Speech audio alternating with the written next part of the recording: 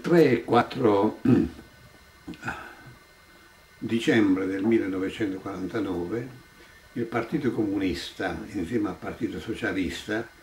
allora si disse il Movimento Democratico Nazionale, organizzò quattro assise per la rinascita in quattro città del meridione, che furono Matera, contemporaneamente, Matera, Crotone, Salerno e Bari in queste quattro città eh, diciamo, si, si, faceva il punto della situazione per quanto riguarda allora l'incipiente lotta per, per, per, la terra cioè, e si lanciò proprio in quell'occasione lo slogan la terra a chi la lavora, quindi praticamente eh, è come se il Partito Comunista e il Partito Socialista si rendessero promotori di invitare, di invogliare le masse, a organizzare le masse le masse contadine e bracciantine ad andare ad occupare i feudi, soprattutto in queste regioni dove il feudo era presente. E in quell'occasione queste, queste, assise furono preparate da, una, da centinaia di assemblee comunali in, in, tutti i paesi dove forte era il movimento per la terra e dove molto forte era la presenza anche del Partito Comunista, si, si organizzavano le assemblee e in queste assemblee i braccianti, le donne, fecero, portavano i cosiddetti cahiers de doléance, i quaderni delle richieste, cioè sui quaderni loro uh, portavano casa per casa e raccoglievano, scrivendo così come potevano scrivere loro a quei tempi, no? con la mano incerta di, della, della, scrittura, della, scrittura, dei semi-analfabeti, scrivevano le richieste, cioè che cosa mancava nei comuni, che cosa chiedeva la gente che venisse cambiata e, e trasformata. E questi furono i quaderni che vennero poi presentati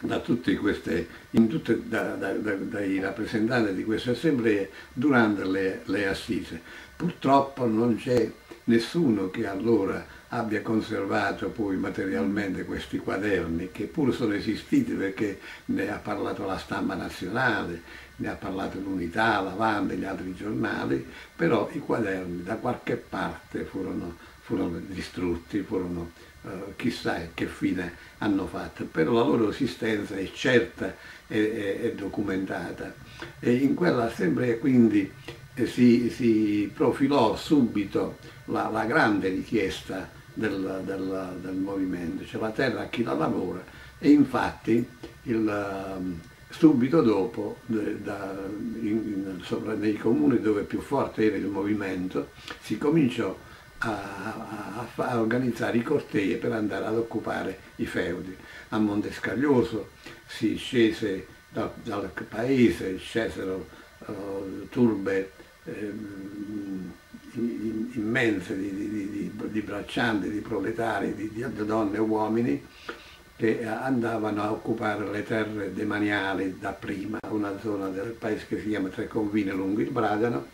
e lì eh, aravano la terra, la seminavano, la picchettavano e cominciavano a dividerla eh, per, per l'assegnazione individuale, se non che la polizia poi interveniva. E, e ci furono degli scontri e il 19, il 19 dicembre a Montescaglioso addirittura ci fu la, la, il blitz della, delle forze dell'ordine, della polizia, che di notte arrivò mentre i braccianti la notte non stavano mica sulla terra, tornavano a paese, arrivarono, arrivarono camion cariche di poliziotti, tolsero la luce al paese e,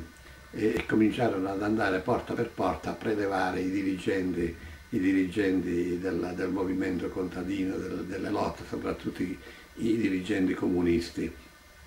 E, e, naturalmente a questo tentativo della polizia si oppose fermamente la, la massa dei lavoratori, soprattutto le donne, né i tafferugli che sono seguiti in questi scontri parcellari fra, fra polizia e, e, e, e, lavoratori di Montescaglioso, c'è scappato la, la, il morto, allora fu ferito eh, mortalmente un bracciante che si chiamava Giuseppe Noello e morì dopo pochi giorni in ospedale. Ci fu una serie di arresti allora, soprattutto donne, soprattutto donne che furono, furono, furono portate in galera e poi processate, processate. Ci sono tracce di queste, di queste cose sul giornale dell'epoca con fotografie di queste donne, eh, una che si chiamava Suglia. Ecco, queste erano le donne che, che, noi dovevamo approfittare per intervistare quando era il momento. Non abbiamo avuto neanche qui la lucidità di, di, di, di capire mm, che dovevamo farlo quando, finché eravamo in tempo. Ci siamo, ci siamo, siamo stati come colpevolmente assenti in questa ricerca, cioè non abbiamo amato la storia che, di cui eravamo stati in fondo protagonisti. E andando a altri cortei, oltre quelli di Monte Scaglioso, altri cortei sulla terra, altre occupazioni si sono avute nel Metapontino, da Bernalda, da Montalbano, scendevano eh, così cortei immensi di, di braccianti e di lavoratori senza terra a occupare le terre del barone Berlingeri e, e lì mettevano toglievano i cartelli su cui c'era scritto riserve di caccia e ci si piantavano i cartelli, dice questa terra è del popolo. Naturalmente loro li piantavano di giorno, poi arrivava la polizia la sera e li toglieva. Il giorno dopo però si, si, si tornava a fare la stessa, la stessa, la stessa cosa. Ecco, il movimento fu un movimento organizzato. Per la prima volta, ecco, la cosa che dobbiamo capire, per la prima volta uh, il movimento diventava organizzato, non erano più esplosioni di lotte contadine eh, che avvenivano qua e là, di, di collera contadina contro il potere, quando si assaltavano i municipi, si bruciavano le carte, ma era un movimento politico organizzato. Questa volta c'erano i capi, erano i, i, i dirigenti comunisti, che, che, poi fra l'altro erano dirigenti che si, si, si, erano formati e si stavano formando nel vivo della lotta, quindi non erano dirigenti che venivano dalla scuola del partito, erano dirigenti che venivano dal vivo della lotta, si stavano formando allora e infatti dopo quelle lotte tanti di questi, di questi dirigenti restarono a dirigere chi il partito, chi le Camere del Lavoro, chi l'Alleanza Contadine, eccetera, cioè divennero, si era formata un, una classe dirigente. E la cosa che bisogna sottolineare appunto, appunto, fu questa che non si trattava più di un movimento spontaneo, ma di un movimento organizzato. E le direttive di questo movimento erano venute, direttive diciamo così, organizzative e ideologiche, erano venute, a, erano venute fuori dalle assise che, di cui parlavo, le assise per la terra del 3 e 4, e 4 di dicembre. E tutto il resto poi è storia che bisogna considerarla a lume di quello che accadde dopo, cioè eh, la democrazia cristiana, che il governo, che furono costretti a, a, a, fare la legge per la riforma, la, la, la legge Stalcio di riforma fondiaria, quindi l'esproprio di, di alcune migliaia di ettari al feudo, non solo di Berlingino ma di altri agrari, di altri feudatari, e, e furono assegnati agli assegnatari, quindi il processo di riforma fondiaria che si avviò allora con tutte le conseguenze che, che conosciamo.